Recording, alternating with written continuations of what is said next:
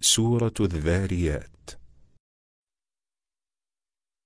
أعوذ بالله من الشيطان الرجيم Me refugio en Allah de Satanás, el maldito. بسم الله الرحمن الرحيم Empiezo con el nombre de Alá, el clemente, el misericordioso.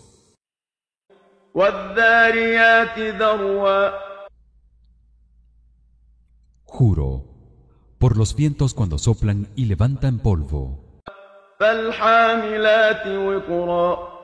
Por las nubes cargadas de lluvia.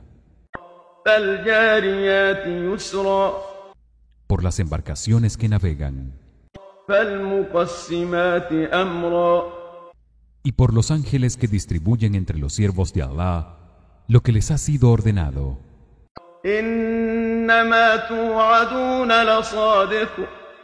que lo que les ha sido prometido es cierto. y que la retribución de Allah según sus acciones tendrá lugar.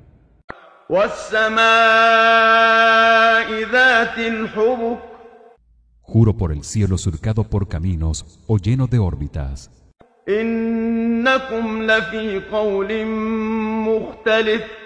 que, en verdad, tienen diferentes opiniones sobre el Corán o Muhammad.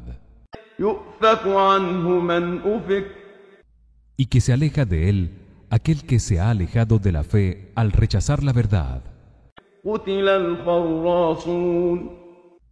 Y quienes mienten acerca del profeta y de la religión, sean expulsados de la misericordia de Allah.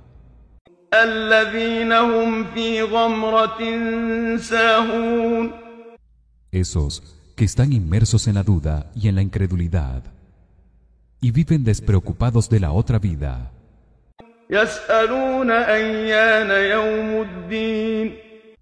Esos le preguntan al profeta en torno de burla. ¿Cuándo sucederá el día del juicio final?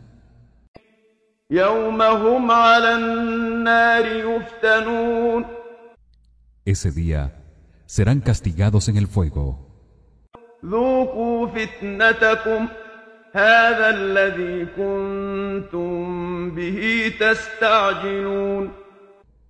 Se les dirá, sufran su castigo. Esto es lo que pedían con apremio.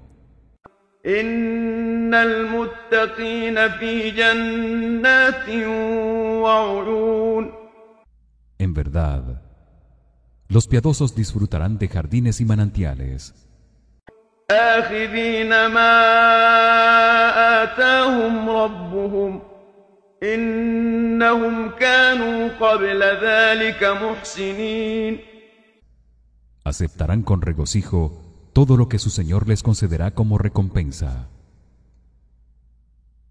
realmente en la vida terrenal obraron el bien.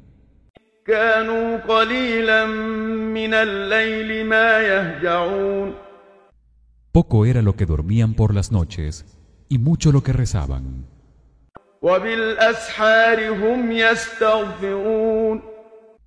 y en las horas previas al amanecer pedían perdón a Allah. وفي أموالهم حق للسائل والمحروم Daban de sus bienes la parte que por derecho le correspondía al pobre y al indigente. وفي الأرض آيات للموقنين Y en la tierra hay pruebas del poder de Allah para quienes creen con firmeza. وفي أنفسكم أفلا تبصرون Y también en ustedes. ¿Acaso no las ven?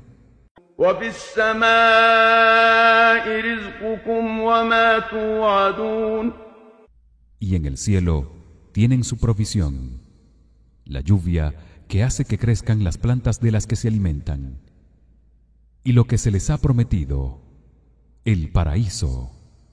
فورب السماء والأرض إنه لحق مثل ما أنكم تنطقون Juro por el Señor del cielo y de la tierra que lo que les ha sido prometido en la otra vida es tan cierto como que pueden hablar.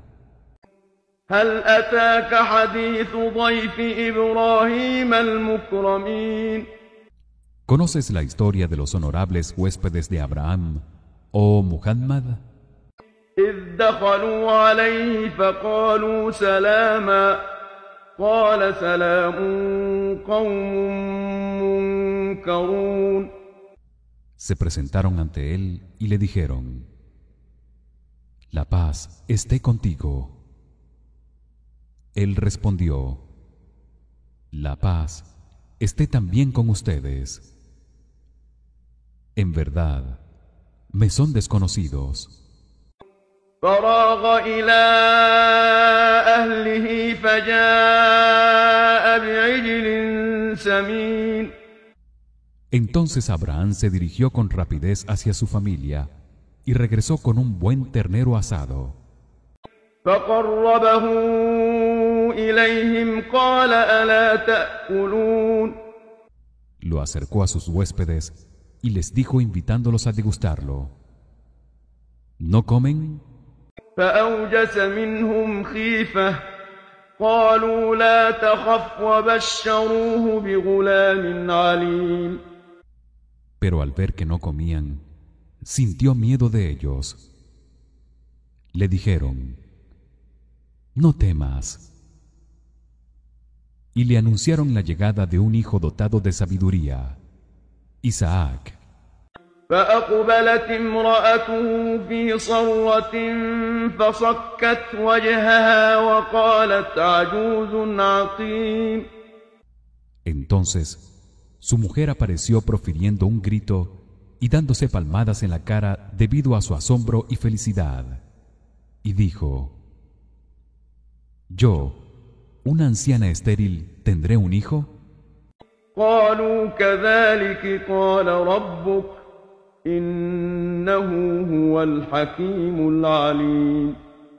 le respondieron, Así lo ha dicho tu Señor. En verdad, Él es el sabio, el omnisciente.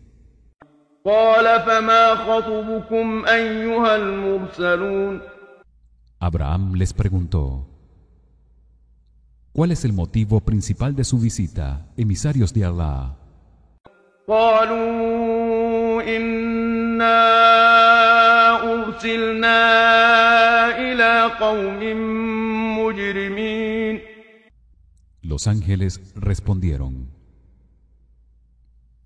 Hemos sido enviados a un pueblo pecador لنرسل عليهم حجارة من طين para enviar sobre ellos una lluvia de piedras de barro cocido, مسومة عند ربك للمسرفين las cuales han sido marcadas junto a tu Señor con el nombre de aquellos a quienes van dirigidas para castigar a los transgresores que han caído en la inmoralidad. فأخرجنا من كان فيها من المؤمنين Y sacamos de la ciudad para salvarlos a quienes eran creyentes. فما وجدنا فيها غير بيت من المسلمين Mas solo encontramos un hogar cuyos miembros se habían sometido a Allah, la familia de Lot, con la excepción de su esposa. وتركنا فيها آية للذين يخافون العذاب الأليم Y dejamos allí pruebas de su destrucción para que reflexionasen quienes temen el castigo doloroso de Allah.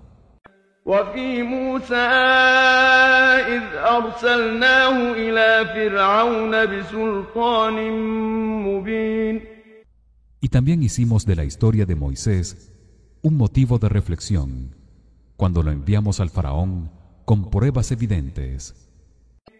فتولى بركنه وقال ساحر أو مجنون Pero éste se rebeló contra la verdad junto con su ejército y dijo acerca de Moisés no es sino un brujo o un loco فأخذناه وجنوده فنبذناهم في اليم وهو مليم y los castigamos a él y a su ejército arrojándolos al mar pues él era merecedor de toda reprobación وفي عاد إذ أرسلنا عليهم الريح العقيم Y también hicimos de la historia del pueblo de Ad un motivo de reflexión cuando enviamos sobre ellos un viento destructor. ما تذر من شيء أتت عليه إلا جعلته كالرميم que arrasaba todo lo que encontraba a su paso. وفي ثمود إذ قيل لهم تمتعوا حتى حين Y también hicimos de la historia del pueblo de Samud un motivo de reflexión cuando se les dijo tras matar a la camella que Allah había enviado como prueba disfruten durante un tiempo فعتوا عن أمر ربهم فأخذتهم الصاعقة وهم ينظرون desafiaron con arrogancia las órdenes de su Señor y fueron castigados pasado el plazo de tres días por un gran estruendo que los dejó fulminados mientras observaban.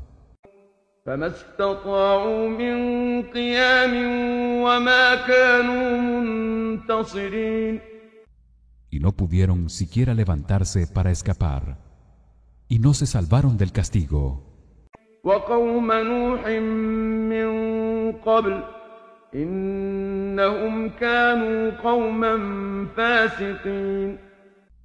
y también destruimos antes al pueblo del profeta Noé. Realmente era un pueblo rebelde que no obedecía a Alá. والسماء بنيناها بأيد وإنا لموسعون y con nuestro poder construimos sólidamente el cielo y lo estamos expandiendo والأرض فرشناها فنعم الماهدون y extendimos la tierra haciendo de ella un lugar habitable y con qué excelencia lo hicimos ومن كل شيء خلقنا زوجين لعلكم تذكرون y creamos parejas de todas las cosas para que reflexionaran ففروا إلى الله إني لكم منه نذير مبين di a tu pueblo oh Muhammad huyan del castigo de Allah buscando refugio en él a través de la fe y las buenas acciones en verdad yo soy un claro amonestador para ustedes de su parte ولا تجعلوا مع الله إلها آخر إني لكم منه نذير مبين y no tomen otras divinidades fuera de Allah en verdad yo soy un claro amonestador para ustedes de su parte كذلك ما أتى الذين من قبلهم من رسول إلا قالوا ساحر أو مجنون del mismo modo no enviamos ningún mensajero a quienes los precedieron sin que dijeran acerca de él no es sino un brujo o un loco.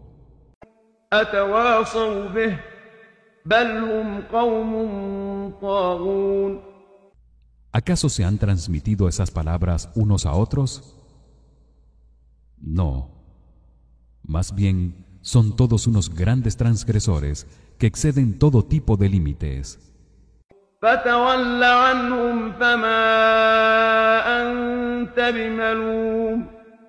Apártate de ellos, oh Muhammad pues no serás reprochado por lo que hagan una vez les has transmitido el mensaje.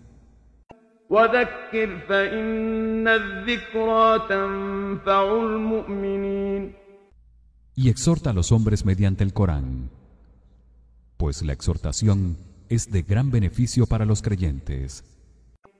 وما خلقت الجن والإنس إلا ليعبدون y no creé a los jinn y a los hombres salvo para que me adoraran ما أريد منهم من رزق وما أريد أن يطعمون no quiero de ellos sustento alguno ni que me alimenten إن الله هو الرزاق ذو القوة المتين en verdad Allah es el sustentador de toda la creación el dueño de todo el poder y el más fuerte فإن للذين ظلموا ذنوبا مثل ذنوب أصحابهم فلا يستعجلون y quienes fueron injustos al rechazar la verdad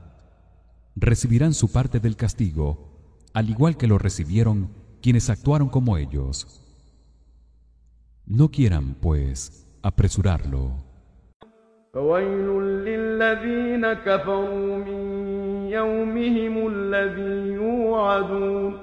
Que quienes hayan rechazado la verdad se guarden del día que les ha sido prometido, el día de la resurrección.